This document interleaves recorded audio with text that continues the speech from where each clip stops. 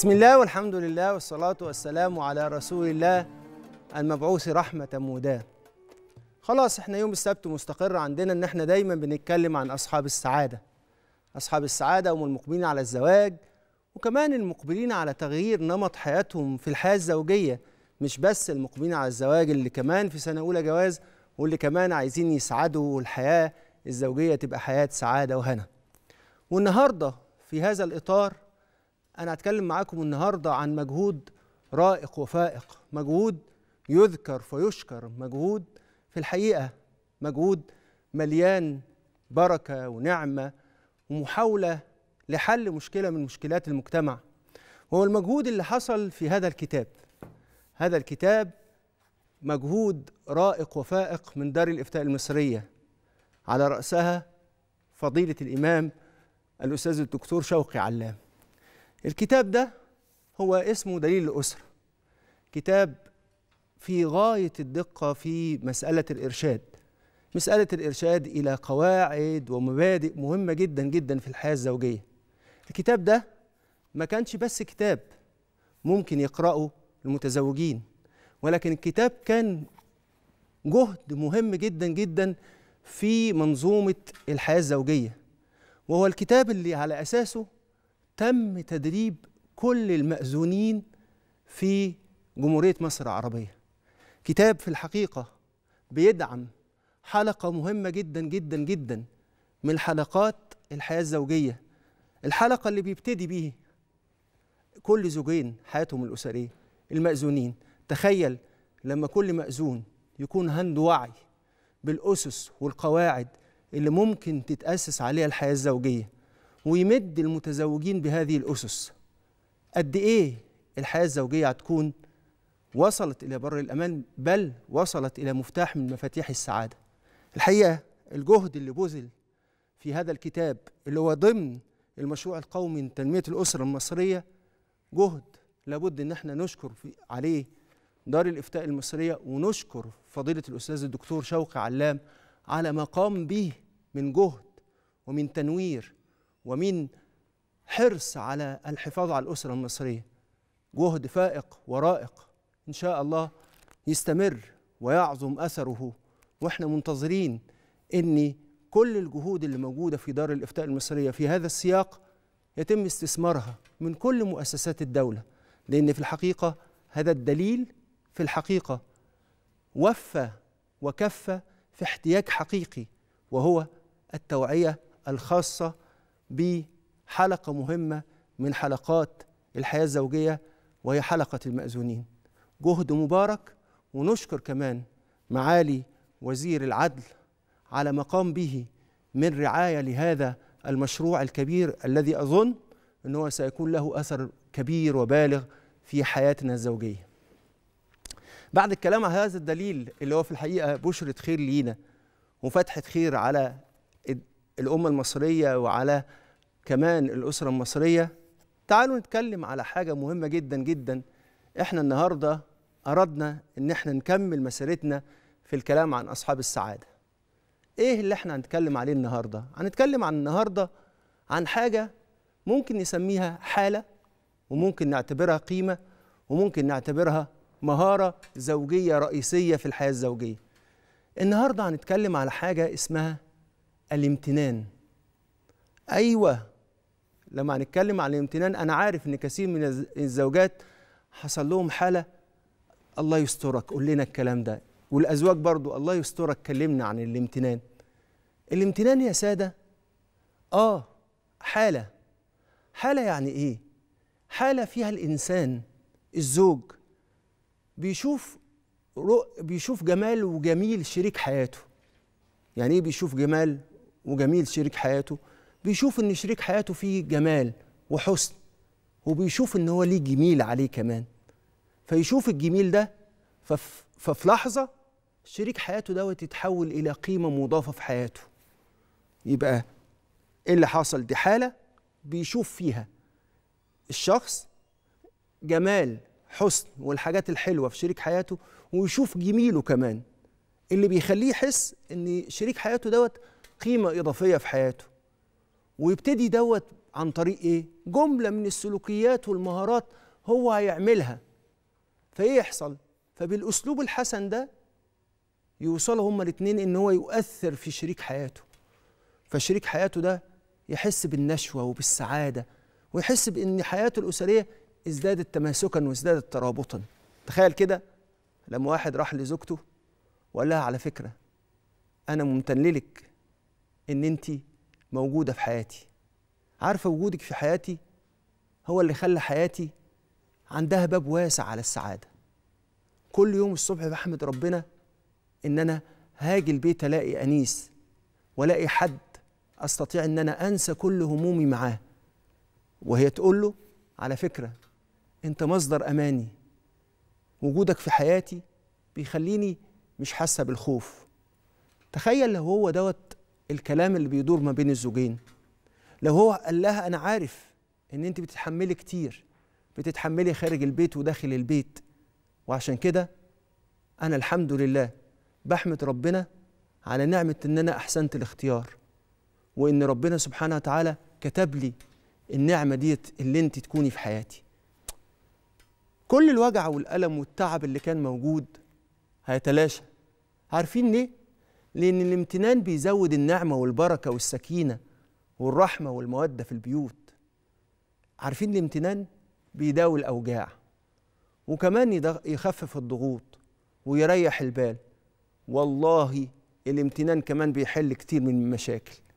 تيجي تقول لي وهو يجي يقول لي في الإرشاد الزواجي يقولوا لنا أنا كنت محتاجة منه كلمة محتاجة إن هو يقدر اللي أنا بعمله. هو يحتاج يقول لي أنا محتاج إن هي تشوفني بس. أنا مش عايز حاجة تانية غير إن هي تشوفني. فالامتنان يا سادة أصبح ضرورة وواجب شرعي في ظل التطور للأدوار اللي إحنا بنعيشه في حياتنا دلوقتي وازدياد الضغوط. دور المرأة اتطور واتغير والرجالة بيعيشوا ضغوطات كتيرة جدا جدا جدا. وده معناه إن الامتنان ما بقاش طرف. الامتنان بقى واجب. من لم يشكر الناس لم يشكر الله. وأولى الناس أهلي وناسي شريك حياتي اللي علمنا رسول الله صلى الله عليه وسلم ان أنا لازم أشكر ده لما شكر للسيدة خديجة وقفها جنبه. حضرة النبي اللي أي حد يسعد وي ويفرح إن هو يكون خدامه. وزي ما أنا بقول له كده تسمح لي وأكون خدامك وأمرخ خدي بمقامك وفي نظ... وفي لحظة أدخل في أمانك ولا ولا عمري بالسر أبوح. بس حضرة النبي امتن للسيدة خديجة وكان يمتن لها حية وفي حياتها البرزخية أيضا. ولذلك في شوية أصول في الامتنان لأن بعض الناس يقولوا ما إحنا قلنا كلام حلو وما وما حدش قدره. وهي تقول برضه ده هو بيقول كلام بايت كده كلام من ورا قلبه. ولذلك لازم الامتنان ده ليه أصول. الامتنان ده مش أي حاجة وخلاص. إيه أول أصل من أصول الامتنان؟ إن خير الامتنان أدومه وان قل يعني إيه؟ الامتنان ده يستمر حتى لو كان قليل بس ما يتقطعش. يعني لازم كل واحدة كل يوم تشوف الامتنان. شوف السيدة عائشة لما كانت تشقر على مكانتها من حضرة النبي صلى الله عليه وسلم. حضرة النبي يمتن لها ويقول لها مثل حبك في قلبي يا عائشة كمثل العقدة. فكل شوية تيجي تشقر على على الأمر ده. فيقول لها حضرة النبي فتسأله كيف حال العقدة يا رسول الله؟ يقول لها كما هي. وإيه اللي حاصل؟ يقول ما حدش يكلمنا حضرة النبي شوف ما لا تكلموني عن عائشة فإنه لا يأتيني الوحي إلا وأنا في حجرها. يعني إيه؟ يعني ما تح... السيدة عائشة ده مقامها كبير ويسألوه من خير الناس؟ من أحب الناس إليك؟ يقول عائشة. يقول ليس عن هذا نسألك نسألك عن الرجال. يقول أبوها. يبقى لا قاطع ولا ممنوع. الامتنان بالظبط كده عبادة منزلية يبد أن نحافظ عليها على الدوام وخاصه في وقتنا ده. الناس موجوعة والناس بتحتاج إن حد يحسسها بوجودها وبسعادتها. يبقى أول حاجة خير الامتنان أدومه وإن قل حتى لو كلمة. ومحدش يستقل ابدا الامتنان مهما كان. الحاجة الثانية الامتنان الحقيقي ما يكون عن واقع. وإلا شريك الحياة أعتبره ضحك على على الدقون إن أنت بتضحك عليه. يعني لما تمتن له تمتن له على حاجة حقيقية. وده محتاج إن أنت تركز مع شريك حياتك. تشوف هو بيعمل إيه في حياتك. مش قاعد كل شوية تقف له على الواحدة. لا لازم تمتن عن حاجة حصلت. أنا ممتن ليك النهارده إن النهارده تحملتي تعبي وضيقي وما فتحتيش موضوعات النهارده وسبتيني لما أروق. يا سلام. هي تحس إن هي فهماك أنا ممتنه ليك النهارده إن النهارده قدرت إن أنا كنت تعبانة واتأخرت شوية في الأكل. فأنا ممتنه ليك إن أنت عملت النهارده قدرتني. أنا ممتن ليكي إن أنت حاسة بوجعي ودايما بتقولي لي كلام وبتطبطبي عليا. يا سلام. فالامتنان لازم نحس بقى القاعدة الثالثه في الامتنان والأصل الثالث في الامتنان. الامتنان ليس منا بل واجب لإسعاد الزوجين. إيه ده؟ يعني مش أنا اللي بيسعد اللي أنا بمتن له؟ لا إحنا الاثنين بنسعد. فالامتنان ليس إيه؟ فالامتنان ليس فضل ولا منة ده الامتنان ده واجب. وعشان كده شكر الله واجب وشكر الناس واجب. وعشان كده الامتنان ده واجب واجب منزلي. لأن في البيت في عبادات زي بالظبط زي ما في المسجد في عبادات البيت كمان في عبادات. فمن العبادات الواجبة اللي هي فرض عين على الناس الامتنان. القاعدة الثالثه في الامتنان والأصل الثالث في الامتنان إن الامتنان يحتاج لحسن صياغة. الامتنان بالظبط زي التفصيل تفصيل الهدوم. لو الامتنان واسع لو الامتنان واسع مش هيبقى جميل. لو الامتنان مش مظبوط إيه اللي حاصل؟ شريك الحياة مش هيحسه ولذلك الامتنان لازم يبقى مظبوط على قد شريك الحياة. ما يجيش يقول لها والله أنت إنسانة آه، متدينة. هو لازم يقول لها والله أنا ممتن لوجودك لأني أنا بحس إن دعاكي بيفتح لي الأبواب المقفولة. أنا ما أقدرش أنزل غير لما أنت تكوني راضي. إيه ده؟ ده هو ده الامتنان. فيبقى الامتنان زي التفصيل بالظبط. طب, لو طب الامتنان لو جه مظبوط على شريك الحياة هيحس بإن هو يزداد تالقا وجمالا. وعشان كده ليس الممتن بالمكافئ. الحاجة الثالثه القاعدة الثالثه ليس الممتن بالمكافئ. هيمتن لي همتن له؟ لا حضرة النبي قال إيه؟ اسمع ليس الواصل بالمكافئ ولكن الواصل من إذا قطعت رحم وصلها ده مش صلة الأرحام بس ده ده الجواز دوت. من أهم الأشياء اللي فيها رحم ومن أهم الأشياء التي فيها وصل. أنا مش بقول إن الأزواج بينهم صلة رحم لكن بقول إن الأزواج فيهم بينهم بر. ولذلك في حاجة اسمها بر الزوج وبر الزوجة. وعشان كده ليس الواصل بالمكافئ. أنت هتمتن مش مش بطريقة المكافأة. أنت هتمتن لأن دي عبادة. لكن الممتن هو من تربى على رؤية الجمال في أقرب الناس إليه. ولذلك الشحن الأساسي للناس في البيوت هو الامتنان. والمدح مسؤول عن إن كل واحد فينا يحس إني مالي عين وقلب شريك حياته. بيحسوا إنه مهتم بيه وشايفه ومقدر وجوده. والمدح كمان بيحسسه بالدعم إن كل حد فينا بالله عليكم في حد فيكم وأنتوا سامعيني. مش محتاج حد يدعمه مش محتاج حد يقف في ظهره. أهو الامتنان ده من أهم وسائل الدعم. كل واحد فينا بيحس إن شريك حياته بيدعمه. ومش بس والله ما رأيت شيء يعمل يخرجنا ويدخلنا على الله من باب الجمال قد الامتنان. عارفين ليه؟ لأن الامتنان بيخرج أجمل ما فينا. ويمدحه. يقول له إيه النور ده؟ إيه القمر ده؟ المدح ده؟ وطريقة الكلام. ومدح أفكاره ومدح مهاراته. زي واحد مثلا يقول له يقول شخص أنت شخص عبقري في التفاوض. يعني ما يجيش الواحدة يقول لها ده أنت مرهقة. شوف هيبص لها إزاي ده أنت مرهقة تعبت البياع. لكن واحد يقول لها ما شاء الله والله أنت عبقرية في التفاوض يعني أنا بتعلم منك. هيخسر حاجة؟ هو فعلا كده. بس هو مش عايز يتعلم منها. الامتنان بقى يغير, يغير شكل العلاقة. ولذلك إدارة علاقة في البيع والشراء والمدح ده ده حاجة تتعلمها منها. زي ما هي تتعلم منك إن أنت مهما مرت ظروف تقول والله العظيم أنا بتعلم منك إزاي تصبر على المواقف الصعبة. الامتنان يا سادة ركن مهم من أركان الحب. آه والله. الامتنان بيخلي الحب يسري في تفاصيل الحياة اليومية. فيجعل الحياة بتدب فيها بيجعل الحياة بتدب الحب يدب في الحياة. ولذلك الامتنان مش بس كلمة شكرا الطبطبة نوع من أنواع الامتنان. والاحتضان والنظر والنظرة الحلوة الحانية والمساعدة. حضرة النبي صلى الله عليه وسلم كان بيمتن بالفعل وبالكلام وبكل شيء. من الامتنان مثلا إن حضرة النبي صلى الله عليه وسلم كان في مهنة أهله. ما يجيش بقى يحتقر يعني أنتوا بتعملوا إيه في البيت؟ لا شوف حضرة النبي عملتني إيه؟ لا ده أنا إيدي بإيدكم. إيدي بإيدكم هم يحسوا إن إيه؟ إن هم بيعملوا حاجة مهمة. حضرة النبي في علياء مكانته يشتغل معانا. طب ما ده نوع من أنواع الامتنان. عارف ان يا سادة إيه اللي حاصل؟ دايما بقول كده. الامتنان يسقي شريك الحياة شهد الأمان. الامتنان يخليه شريك حياته الزوجة تتغذى بالأمان. إنها في قلب جوزها واخد باله منها. وهو كمان بيتغذي إن احتياجه للبطولة واحتياجه كمان للأمان. إنه يشعر إن هو السند والعضد وإن هو بياخد إيديها للمستقبل وإنه سبب راحتها. الامتنان يخليه يحس بكده. الامتنان بيزود روابط الانسجام. لما الناس تمتن لبعض يحسوا إنهم منسجمين قريبين من بعض ويفرحوا بوجودهم مع بعض. يبقى إيه اللي حاصل؟ ويستمتعوا إن هم مع بعض. ولو إحنا مش بنمتن لبعض وكل واحد فينا يحس إن وجوده بيسعد التاني إيه اللي فاضل لنا؟ إيه اللي بيخلينا نقعد في العلاقة دي؟ إذا الامتنان بيحسسنا بيحسن العلاقة بتاعتنا. الامتنان من أفضل الطرق اللي بتصون العلاقة. ولذلك ما تلاقيش علاقة فيها امتنان وممكن تتسمم أو تتحول لعبء أو استهلاك أو يفقد كل واحد فينا بريقه بل الامتنان هيخلينا نتألق ويخلي كل واحد فينا يبدع. ولذلك عايز تمتن لازم تبتعد عن المهلكات الثلاثه اللي بيحولوا العلاقة إلى مستهلكه اللي هو كتر اللوم الامتنان يقتل كتر اللوم. وكتر الشكوى الامتنان بيخلص على كتر الشكوى. وكتر الانتقاد الامتنان بيخلص عليه كمان.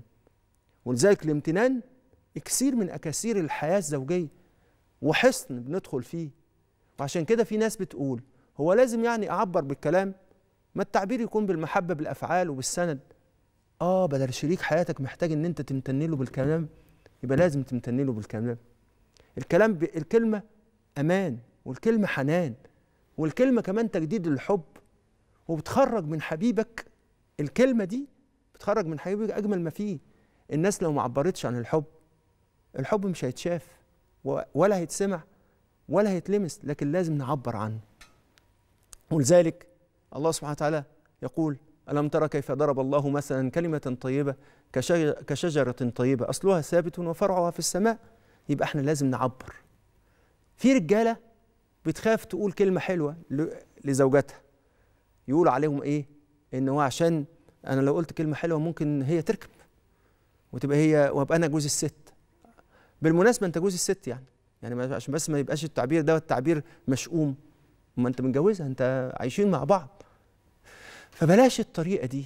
قول الكلام الحلو. الكلمة الطيبة صدقة. وغير وخير صدقة هي الصدقة التي تضاعف في أهلك. وعشان كده لما المجوزين بيغيبوا عن الامتنان لبعض بتحصل حاجات سيئة. وعشان ما يحصلش ده تعالوا نشوف الإجراءات اللي إحنا ممكن نعملها. عشان نبقى مع بعض ونبقى ممتنين لبعض ونوصل لحالة من حالات الامتنان الجميلة. لازم تعبر عن حبك بالامتنان. عبر بالطريقة التي تنعش وتدهش. يعني فاجئ دايما شريك حياتك واجعله يتألق. خليك انت واقف في مكان وقول لها بعلو صوتك أنا بحبك. قول لهم قول لي قول له شرك قول لي شريك حياتك بإن انت حس... النهارده فكرت فيها فحسيت إيه طعم السعادة اللي أنا بدوقه. لما بقارن حياتي بحياة غيري فاجدك منورة حياتي. عبر. وأوعى تقول إن تعبيرك ده هيخليك قليل. التعبير ده هيخليك سعيد. أول حاجة. تاني حاجة لازم تعرف إيه اللي بينعش شريك حياتك من الامتنان. في واحد بيحب الامتنان باللمسة بالاحتضان. واحد بيحب الامتنان بالكلمة. واحد بيحب الامتنان بالهدية. فلازم تعرف إيه اللي أنت هتمتن بيه لشريك حياتك؟ الحاجة كمان المهمة مفيش حد عايز يمتن لحد إلا وهو دايما يثني عليه يثني على الأدوار اللي هو بيعملها. والأمر الثاني المشاركة من أجمل أشكال الامتنان. شارك شريك حياتك دايما في اللي هو فيه. طب والزوجة هتقول لي وأنا شارك شريك حياتي إزاي؟ في ضغوطه في الشغل. لما يرجع في الشغل هو زي ما هو كمان. لما يرجع من الشغل يحتضنك أنت احتضنيه كمان. من أحد الأدوار اللي بتلعبها الزوجات في بعض الأحيان دور الأم اللي بتخفف على ابنها تعبه وهو راجع.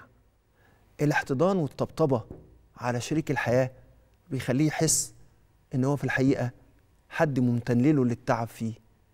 تعالوا نرجع تاني الامتنان بهذه الطريقة. أنا بقول لكم إن الضغوط اللي عندنا هتخف أثرها على حياتنا وعلى أولادنا وعلى كل مكونات حياتنا لو امتنينا لبعض. الاحتضان امتنان الكلمة الحلوة امتنان الهدية امتنان المفاجآت السارة امتنان الكلام الحلو وده حاجة مهمة الكلام الحلو قدام الناس امتنان. امدحوا بعض قدام الناس مش عن كذب عن حقيقة. خلي هي عملت حاجة النهاردة واعمل لها من الحبة قبة واتكلم عنها كويس قدام الناس. كل ده أشكال من الامتنان. يا رب اجعلنا من أهل اليقين من إن الامتنان ده نور من أنوار الإيمان. يا سادة انعشوا قلوبكم إن أنتوا تستثمروا الإيمان في بيوتكم. خليكم متمسكين وعلى يقين إن الامتنان ده مدد من ربنا. وجعل الله سبحانه وتعالى وجعل بينكم مودة ورحمة. المودة والرحمة تظهر أعظم ما تظهر في امتنان كل واحد لشريك حياته. يا رب ارزقنا الهمة والسعادة. وارزقنا التوفيق والإبداع عشان نمتن لشركاء حياتنا عشان نكون سبب من أسباب دخولهم على جمالك يا جميل. يا رب جملنا بحسن الامتنان لمن هم أصحاب أصحاب الجمال والجميل في حياتنا شركاء حياتنا. يا كريم يا ودود يا رب العالمين. بعد الفاصل نلتقي بحضراتكم عشان نجاوب على أسئلتكم المباركة ولكن بعد الفاصل.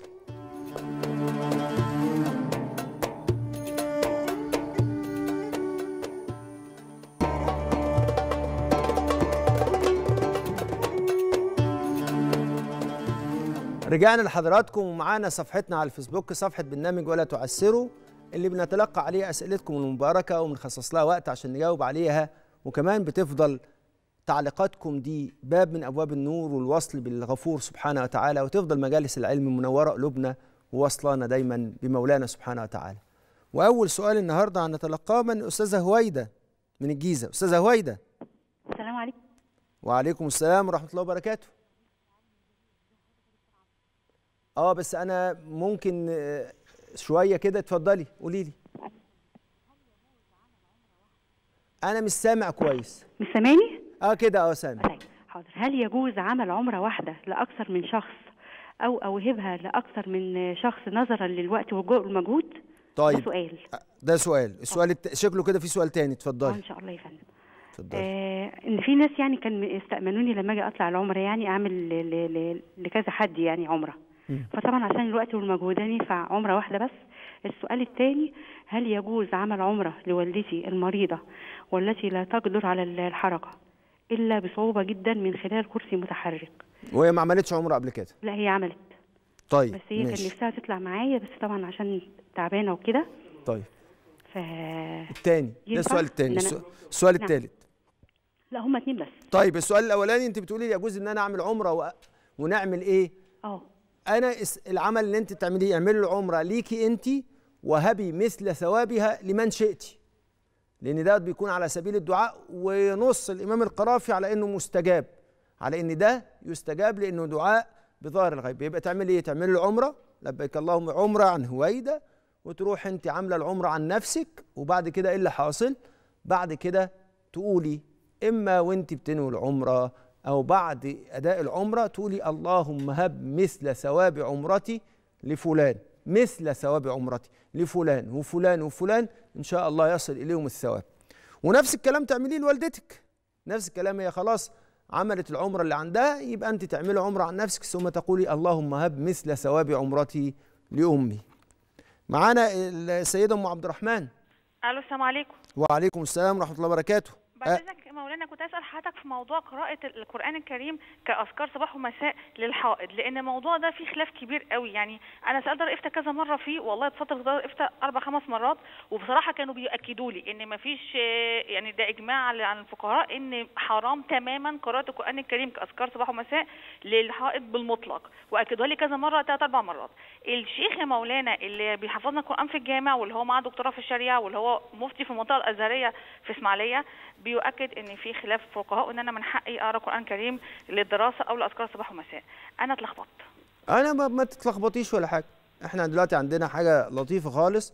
أنت كل الحكاية إن أنت ما قلتلوش شوية حاجات. أول حاجة أنت بتقولي إن أنت هتقرأي القرآن على سبيل الأذكار أذكار الصباح والمساء. فأنت لما بتقولي القرآن أنت لا تقصدي القرآنية. هو الممنوع إن أنت تقرأي القرآن بمدخل القرآنية. لكن أنت لو بتقولي القرآن على إنه ذكر يعني مثلا على سبيل المثال لو إن إحنا ربنا لا تؤاخذنا إن نسينا أو أخطأنا. واحدة بتقول وهي حائض ولا عليها شيء لأن هي قصدت الدعاء وقصدت الذكر. والذكر لا يشترط فيه الطهارة. الذكر لا يشترط فيه الطهارة. فإن كنت بتقول القرآن من باب الذكر لا من باب تلاوة القرآن فيجوز. فيجوز لأن دوت من قبيل الذكر وليس من قبيل القرآنية. الكلام دوت ينص عليه. تجد الكلام دوت في مسألة النية وهو بينص عليه الإمام السيوطي في الأشباه والنظائر إن أنت مش قصد القرآنية لكن قصد إيه؟ قصد الذكر. أنت بتذكري الله. فالآيات اللي بتأتي فأنت قصده إن أنت تقولي ذكر لأن القرآن ذكر. القرآن ذكر. لكن لما تقصدي القرآنية لا. عشان عشان مسألة إن القرآن يحتاج إلى الطهارة الكبرى. طيب المسألة الثانية انت بتسألي بتقولي إن أنا كمان بذاكر وبراجع. لا كمان يجوز للمرأة إذا كان عليها ورد إذا كان عليها ورد مراجعة أو إذا كانت هي بتمتحن أو بتذاكر يجوز لها أن تتلو القرآن أيضا وذلك جائز لها أيضا. خلاص يا أم عبد الرحمن؟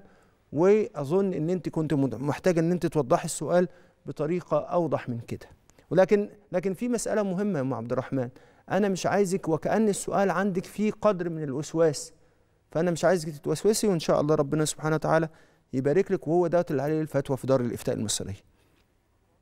نعم أم يوسف السيدة أم يوسف تتفضل. السلام عليكم عليكم السلام ورحمة الله وبركاته. مولانا عامل إيه حضرتك نعمه وفضل الحمد لله. بشكر حضرتك جدا على البرنامج ده الله يعز حضرتك ويبارك. بقول لحضرتك اللي هو الامتنان يعني هو التقدير مسألة تقدير صح؟ آه فالامتنان مثلا عندنا يعني أنا عندي في البيت أقعد أعمل وأسوي وأذاكر للولاد وأجي من الشغل وأعمل اللي ورايا وآخر النهار. ما أنت زيك زي غير ما كل الناس تعبانة. يعني ما أنا ما أنا عارف أنا عارف أنا أنت عارفه طبعا إن أنا جايب الحلقة لأن دي أنا آسف يعني عندي مصطلح كده. أنا عارف إن ده سلك عريان عند الناس. الناس آه والله كلها يا دكتور والله فعلا. أنا بقول له طيب أنت تعبت النهارده أنت شقيان؟ يقول لي أكيد عايزة مصلحة أكيد عايزة حاجة. معلش. سافر. انت عايزة مصلحة فعلا. ما انت عايزة مصلحة. ما يعني المصلحه عايزة أرفع من روحه المعنوية. ما دي. تعبت دي النهاردة، م- أنت وأنا عايز شقيان، لكم- ربنا يبارك لنا فيك. أم- مفيش فايدة. طب هو يقول لي مفيش ما بيقولش حاجة خالص. طب أم يوسف هقول لك حاجة. وشقيانة وخلاص وزهقانه زهقت. لا أقول لك يعني حاجة. لدرجه إن أنا زهقت فعلا. هقول لك حاجة يا أم يوسف. إحنا عندنا بس بقول يا رب طب ربنا يعني إيه؟ هي أكيد هيجازينا خير على اللي إحنا بنعمله في البيت وفي الشغل بره وجوه. أكيد هيجازينا ربنا. يعني إحنا صابرين والحمد لله. طيب أنا بكلم أبو يوسف بقول له يا واللقمة ترفعها إلى في زوجتك صدقة. إحنا كتير من الناس ما يقدروش يتصدقوا بأموالهم لكن يقدروا يتصدقوا بجبر خواطر أحبابهم. بالله عليكم. أنتوا مش خاصين حاجة. وال والكلمة الطيبة صدقة. وحضرة النبي سألوه عن الصدقات أعظم صدقة تكون فين؟ قال دينا- دينار في سبيل الله. ودينار آه، للفقراء. ودينار تنفقه على أهل بيتك قال خي- خيرها الذي تنفقه على أهل بيتك كذلك الكلمة تقولها لواحد صاحبك. الكلمة تقولها لواحد منتحر فيمتنع عن انتحاره. الكلمة تقولها لزوجتك فتتألق وت- وتشعر بأن ربنا أنعم عليها بالزواج. هذه خير كلمة. ولذلك أنت لازم تعرف ده. إحنا أمامنا أبواب من النعيم ومن الفتح ومن الإقبال ومن الوصل ومن المدد أبواب قريبة. يا سادة والله ما هتخسر حاجة. ال- السيدة الفاضلة اللي تعبت بره البيت وجوه البيت وعملت كل ده. ومش عايز أقول لك بس إن إحنا بنتورط في بعض الأحايين. يجي يجي الزوج بقى يقول لها وأنت بتعملي إيه؟ وتروح قايل له طب بص أنا هقول لك حاجة. أنا بس عامل حاجة وأنت ذاكر بس ساعة للأولاد. فيبتدي يفقد الذاكرة. ويبتدي يحس بإنه خلاص اتخنق. يبقى يا أخي بقى ما هي قيمة إضافية؟ نعم. هي فضل من ربنا؟ نعم. هي منا؟ نعم. طب والمنه نعمل فيها إيه؟ الله سبحانه وتعالى ولئن شكرتم لأزيدنكم. هقول لكم حاجة أنا قابل وعد ربنا. ولئن شكرتم لأزيدنكم. لما بشكر نفس لما بشكر ربنا على نعمة زوجتي وأمدحها وامتن ليها ربنا بيزيدني. بيزيدني إيه؟ هدوء هدوء بال وراحة وجمال وفرحة وسعادة وأمان. وعشان كده إحنا لازم نمتن. معانا مين؟ أستاذ أحمد من السويسي اتفضل. آه، السلام عليكم. وعليكم السلام ورحمة الله وبركاته أستاذ أحمد. آه، لو سمعت حضرتك آه، والدتي توفت دلوقتي فأنا عامل عاوز أعمل صدقة جارية عليها. أفضل الصدقات إيه؟ أفضل الصدقات اللي في الإنسان. يعني أفضل الصدقات إن أنت تعلم واحد إن أنت تعالج واحد إن أنت تخرج واحد من أزمته. وتقضي عنه دينه. كل دي أفضل الصدقات. كل يبقى عندنا أهو أفضل الصدقات الجارية هي الصدقات التي في الإنسان.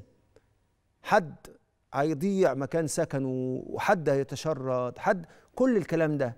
كل ما تكرم إنسان وكل ما تساعد إنسان على تنمية حياته كل ما كان دي أفضل الصدقات الجارية. أستاذة عزة من القاهرة تتفضل.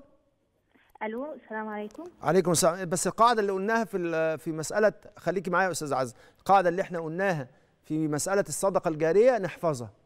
الصدقات الجارية أعظمها الصدقات في الإنسان. دي شيء مهم جدا. أستاذ عزه اتفضلي.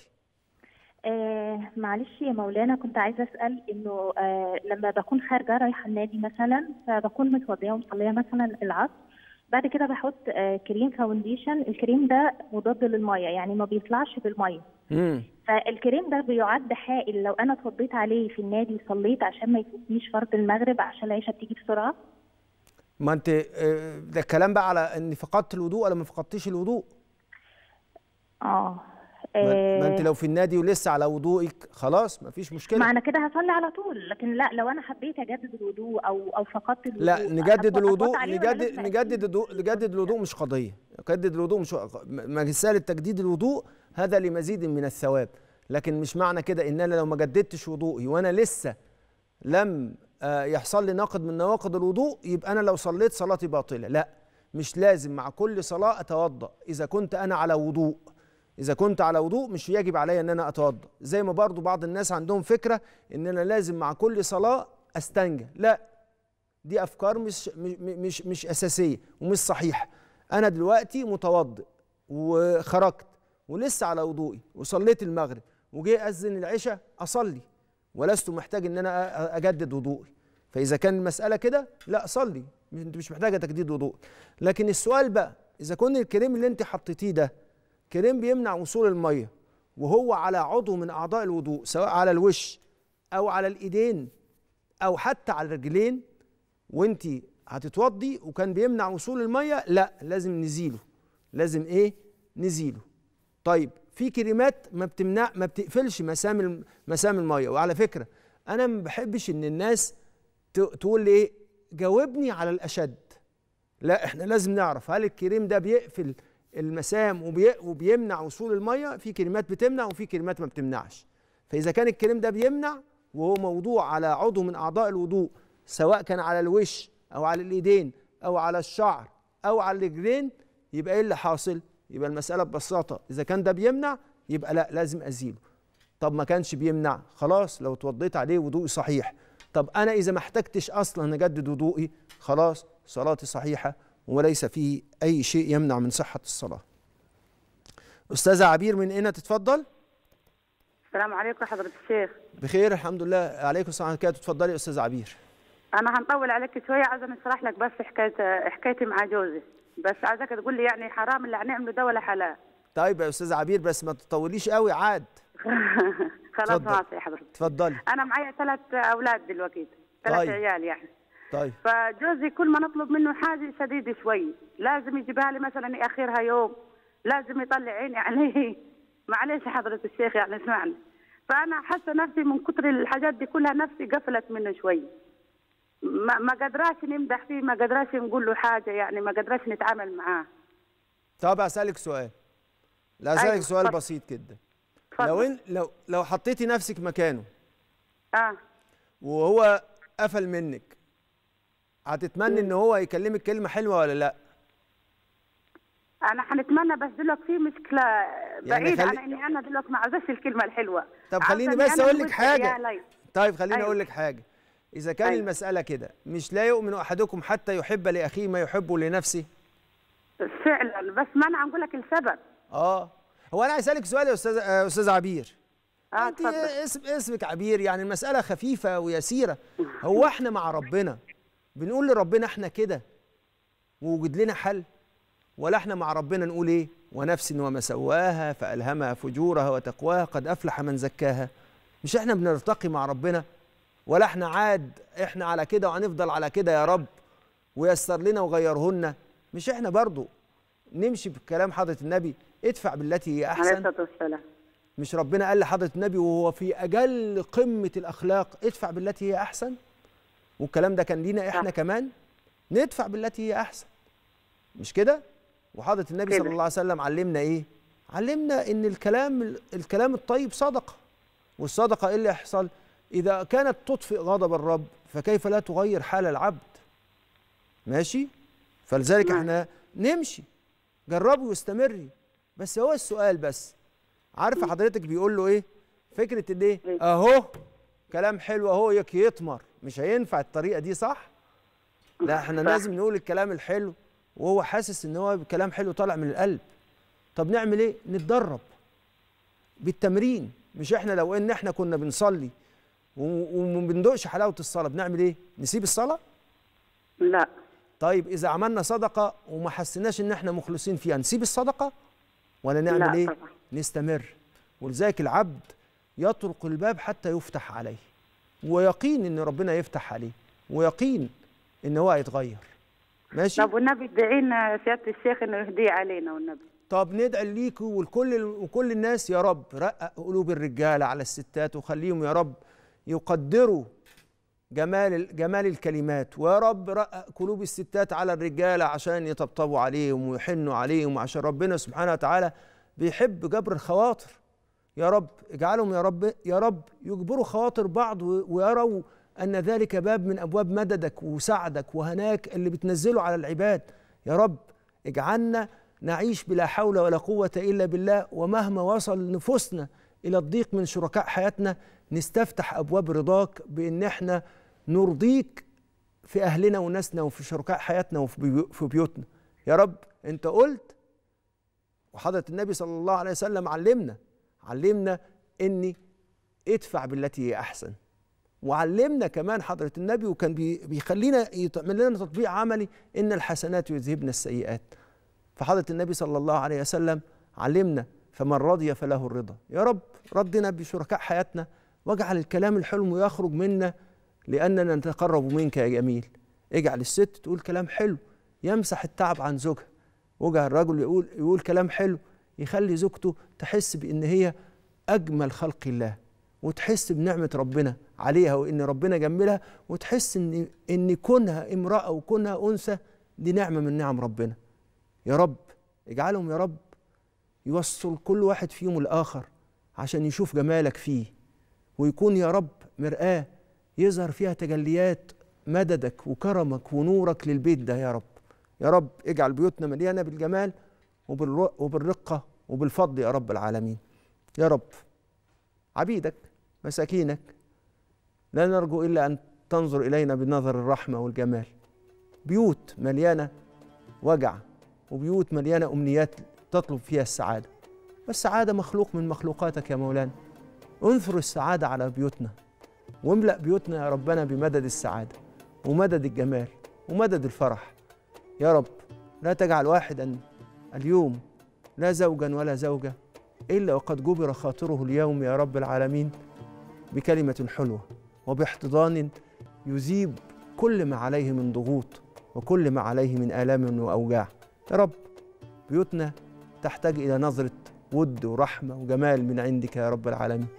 اجعل مددك يا ربنا يجعلنا أقوياء ويجعلنا فعلا قادرين على أن نتجاوز مساوئ أنف- أنفسنا وأوهامها ومخاوفنا اللي بتخلينا نمتنع عن الامتنان. اللهم ارزقنا حقيقة أن الامتنان ذوق حلاوة الإيمان. يا أكرم الأكرمين يا رب العالمين أكرمنا بالامتنان. يا حنان يا رحمن يا رب العالمين.